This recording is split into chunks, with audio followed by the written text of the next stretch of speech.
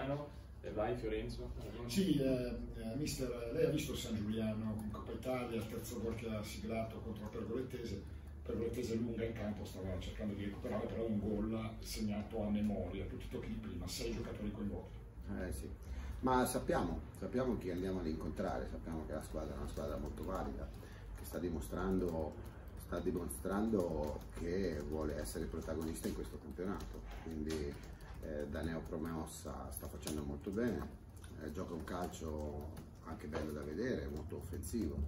Eh, questo va dato merito a chi sta proponendo questo tipo di calcio, quindi è una squadra eh, anche consapevole dei propri mezzi.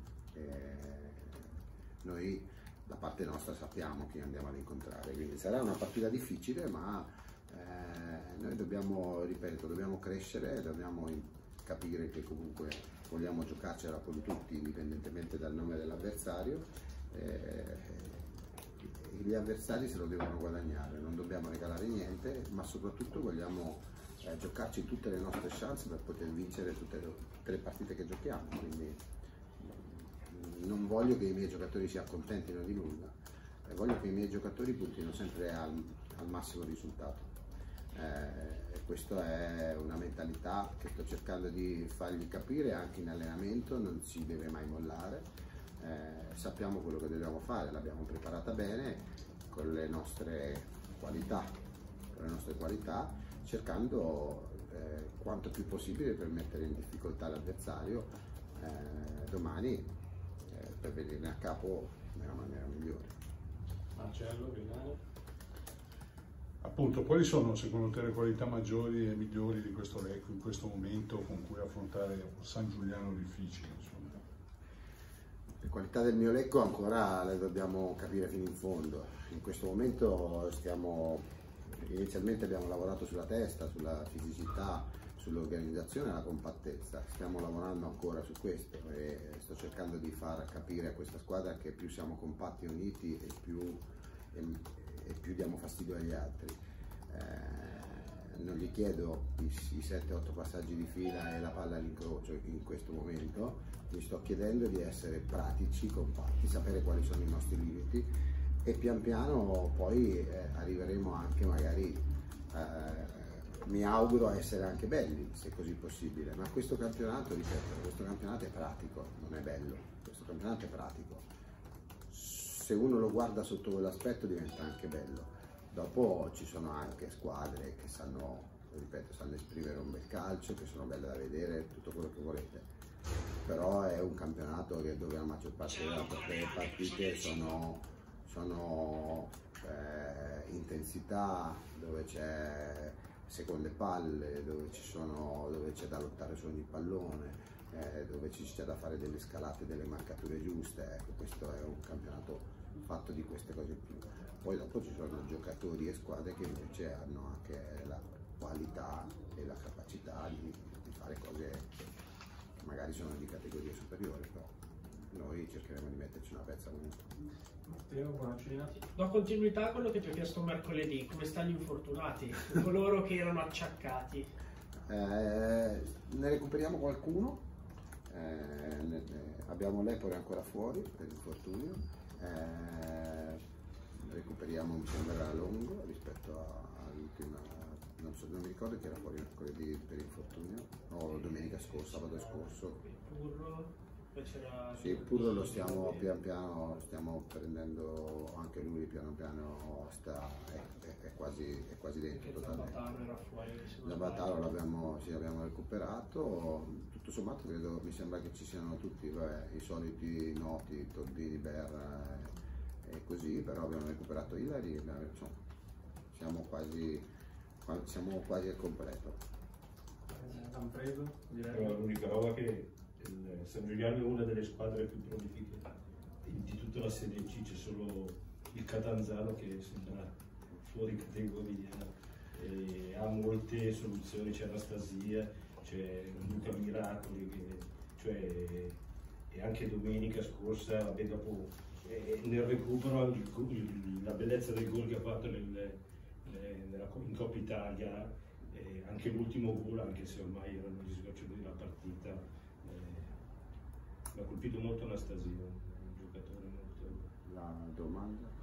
No, niente, era una considerazione. che No, no, questa considerazione la ringrazio. Se hai, studiato qualcosa di No, particolari, studiare, di studiare c'è poco da studiare, noi dobbiamo essere organizzati a fermarli senza ombra di dubbio.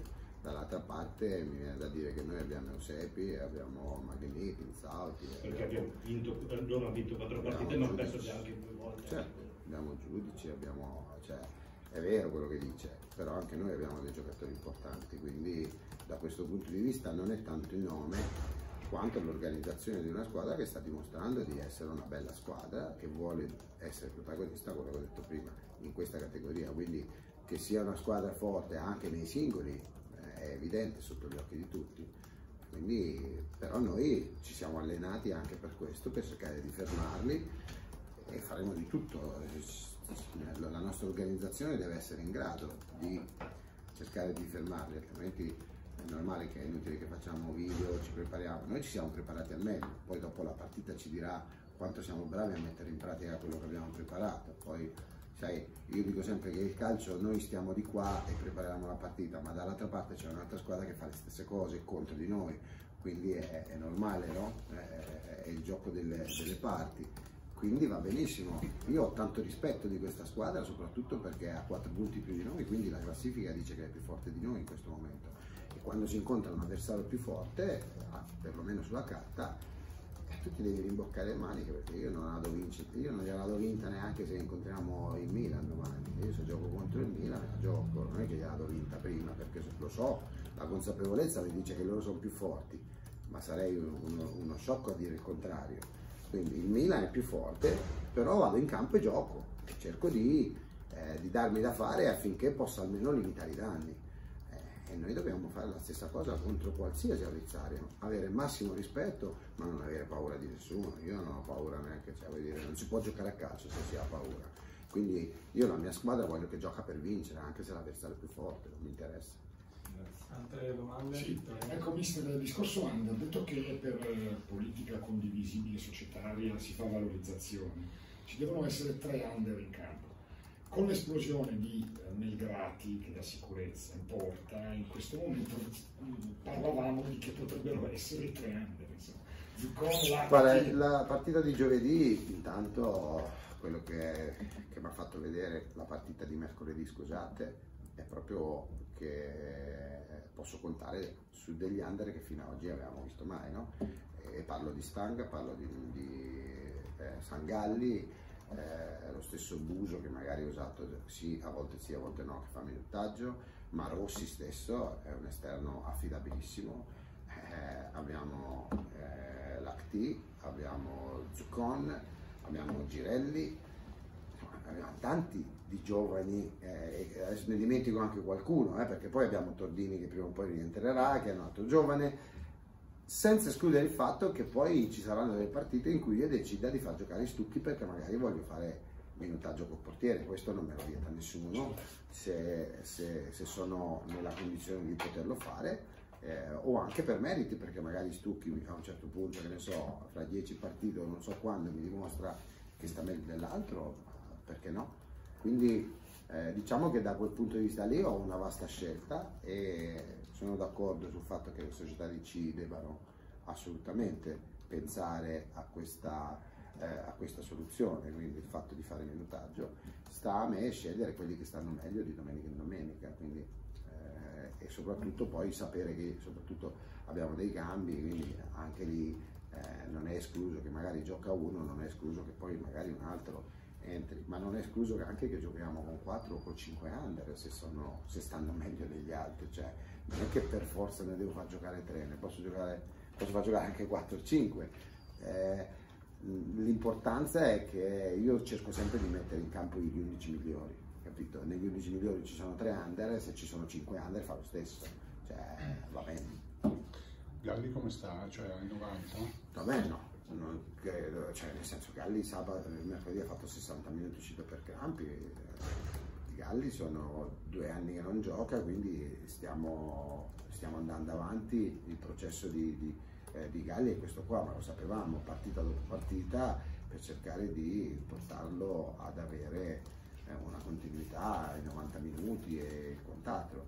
Eh, domani eh, se dovesse giocare magari sappiamo che è un cambio, nel senso che se dovesse partire dall'inizio eh, so già che al sessantesimo magari eh, devo cambiarlo, però lo mettiamo in conto, Eh, altrimenti continuerà a dare il proprio contributo comunque a partita iniziata o comunque quando sarà nel giro credo di mm, un paio di settimane al massimo tre eh, avrà tutti i 90 minuti dentro insomma eh, an- perché ripeto son- non è sei mesi che non gioca. Sì però realmente sono praticamente fra fra intoppi e cose del genere eh, è quasi due anni che non insomma. Altre domande? Sì, su Euseppi Penzauti, che magari poi hai- con cui magari hai avuto modo di parlare dopo il, il fattaccio di mercoledì. Eh, Come stanno? Un po' sai agli attaccanti gol da linfa. fattaccio è? La- La la- il tentativo di, di testata. C'è stato anche fuori di reazione. Ah, quella roba lì. Sì. Allora, niente. eh, A parte, eh, ragazzo, c'è, una società che interviene su- dal punto di vista disciplinare, quindi per quanto mi riguarda, eh, usciti dal campo, eh, io tengo a precisare che il gruppo non si forma o non si rompe dentro il campo la partita, il gruppo è importante che lo spogliatoio riconosca quello che è successo e che siamo a posto così, non, non- non ci vedo nulla di, cioè quella cosa lì non è un fattaccio, è una situazione di gioco dove sai il ragazzo lo sa da solo che ha fatto una sciocchezza, è stato espulso, si è peccato tre giornate in Coppa Italia, Ame, ci sarà probabilmente una società, presumo che intervenga dal punto di vista disciplinare, non ci vedo nulla di eclatante, se succede in campionato probabilmente la sanzione sarà più grande, quindi poi dopo che dal mio punto di vista io gli ho detto che mi deve dare dei soldi, a me personalmente questo è un altro discorso. Mai e poi mai una cosa del genere, però Perché su, su Eusebio come sta, insomma, fa un gran lavoro, però il gol comunque non lo trova dalla prima io sì, lo so, questo è per gli attaccanti chiaramente un, eh, disagio, io non lo chiamo un problema, un disagio quello di non fare gol, quindi per quanto però non- per me non è un problema.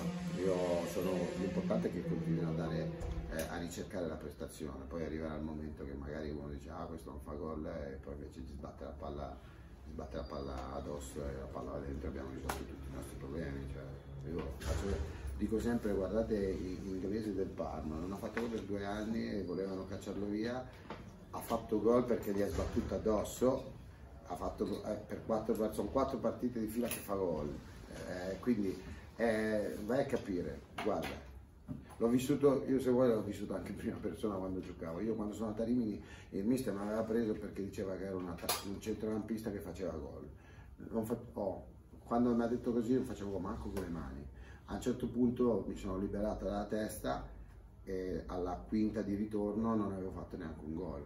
Siamo- mi sembra siamo andati a Gualdo, c'era il Gualdo allora in Serie C, ho fatto un gol che fa paura perché ho tirato di controbalzo, la palla ha sbattuto palo, traversa, incrocio di pali così, per 5 partite di fila ho fatto 5 gol di fila, a momenti divento il capocannoniere della squadra, a fine anno ho fatto 9 gol, per dirti no?